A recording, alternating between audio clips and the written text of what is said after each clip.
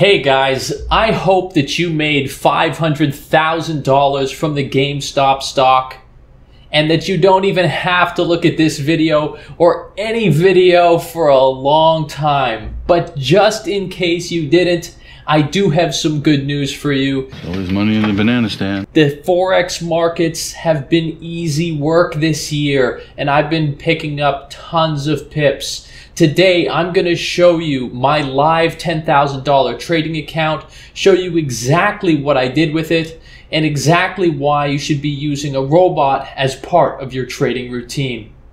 Roll the intro.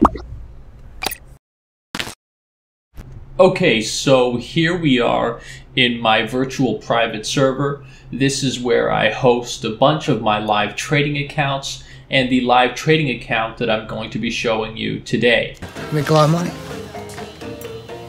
Yeah, I do alright for myself. For the purpose of this video, this account is using my Forex robot, Forex Fury. Uh, I could take a look and show you the settings that I'm currently using. This is obviously with the upgrade to version 4, which was a free upgrade for all members. Now, you can see here that I'm using a fixed lot size, so I've turned money management off, and that I'm basically using a pretty risky profile here and monitoring the account myself closely. So I'm using a very high stop loss, so I'm basically not really using a stop loss. I'm just letting the trades work out as they may and then jump in if necessary. But the entries have been so good that I really haven't been able to or had to touch it at all. So you can see these are all the settings. The only other setting I've really changed is the one set of trades per day. That's an important setting. I find that when the software opens up a second set of trades, it frequently loses. And so I just tend to avoid that and I let so let's just get into it. I'll show you some of the trades here and walk you through a, exactly what I'm looking for in a trade and what the entries are like from Forex Fury or really any other robot if this is the type of approach that you want to use. Okay, so let's jump right in and take a look at all of the trades I've placed in the last month, month and a couple of weeks, okay? This is all on my live trading account. So first, let's take a look at the first trade I placed. This was on the 17th. This was a set of buy trades. We won all of these trades. The trades lasted uh, not very long at all, just under 40 minutes. You can see that the market went in a direction that we wanted it to. We picked up an easy win and then we were out of the market. That's what I look to do in all of my trades. I always trade this way. It's the way I prefer. Now let's drop on the next set of trades. You can see here that my next set of trades were sell trades and then the market immediately dove down and we picked up the wins and then we were out. Again, a nice win. Let's take a look at the next set of trades. This set of trades was a set was a sell trade again on the euro US dollar. It looks good. It didn't last very long, just 12 minutes and we were out. So another easy win. Then let's roll into the next day. We had some more trades and these trades were buy trades. You can see again, this is another nice entry. It went down a little bit, but then the market recovered and we won the trade simply. Let's move to the next set of trades. This is on the 23rd. On the 23rd, we made buy trades again and the market went up immediately. So we were able to exit these trades. Again, another solid entry and another set of trades won.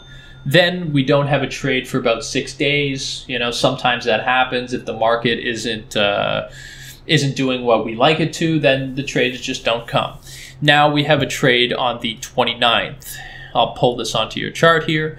On the 29th, we opened a sell trade. This is simple. It went down. We hit our profit target and we took off.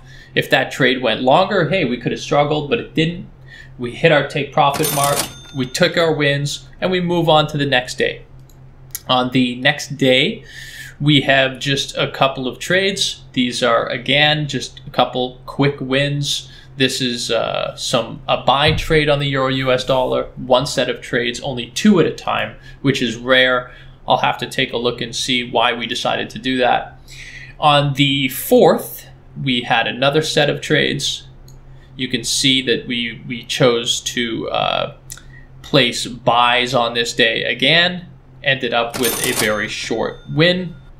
This was quick. It took about an hour and a half for that whole set to finish. Next, we have a couple of days later, we placed some trades on the 6th. These trades lasted a little bit longer than I would have liked them to, but we ended up winning the trades.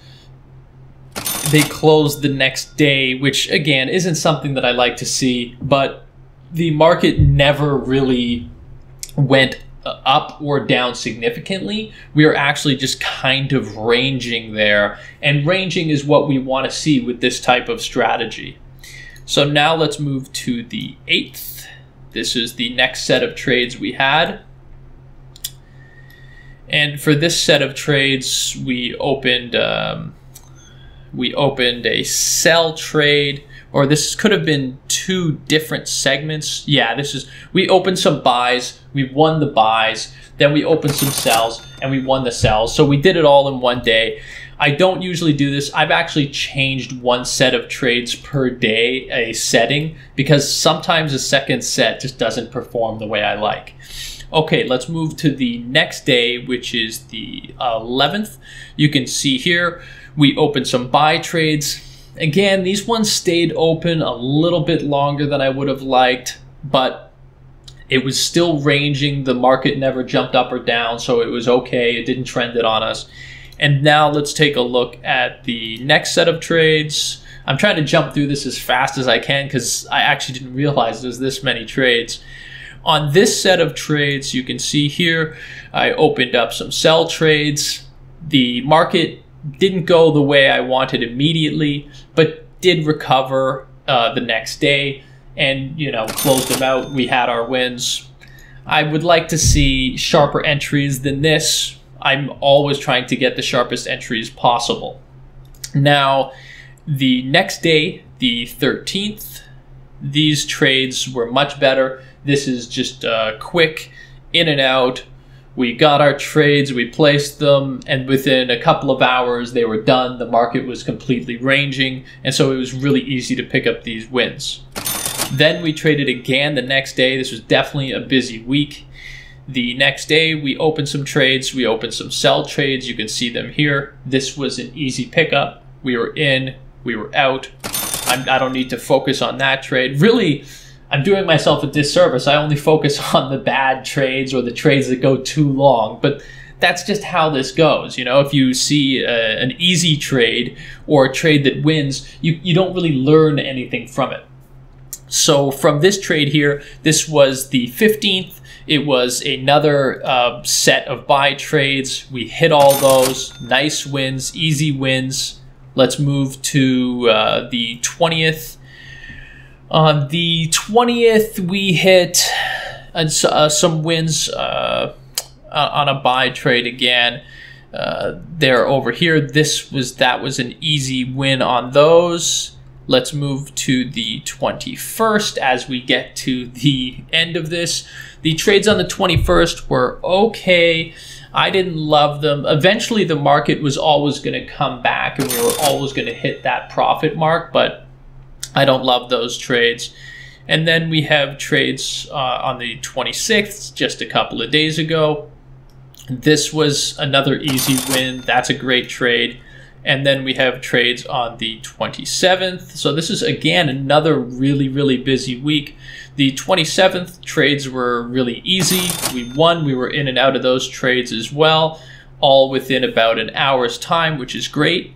And then yesterday, this was probably the worst trade I've actually taken on this account because right after I placed the trade, the market went uh, straight down.